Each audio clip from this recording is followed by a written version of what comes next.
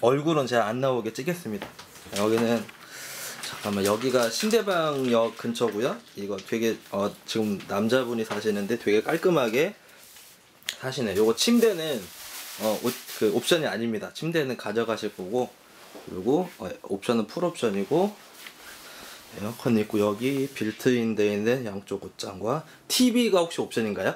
네. 아, TV도 어, 옵션이라고 합니다. 1.5룸이고 지은 지 한 2년에서 3년 정도밖에 안 1년? 1년, 2년, 3년 정도밖에 안 되는 것 같아요.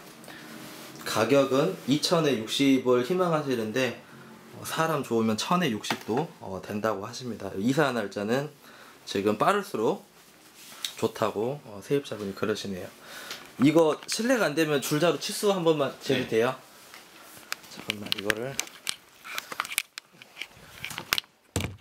방만 방만.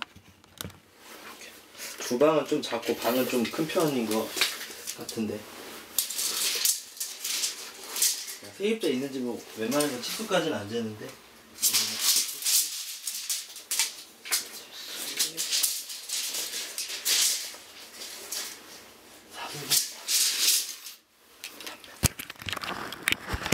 여기서 여기까지가 2m 70이고 여기 옷장에서 저기 끝까지가 3m라서 어, 옷장이 50cm 좀 넘으니까 3m 50 방은 어, 아주 크고 대신에 주방은 음, 방에 비해서는 조금 작긴 하지만 방이 커서 충분히 커버가 될 것 같습니다. 전자레인지도 옵션이겠죠? 네. 네, 전자레인지까지 아, 풀 옵션입니다.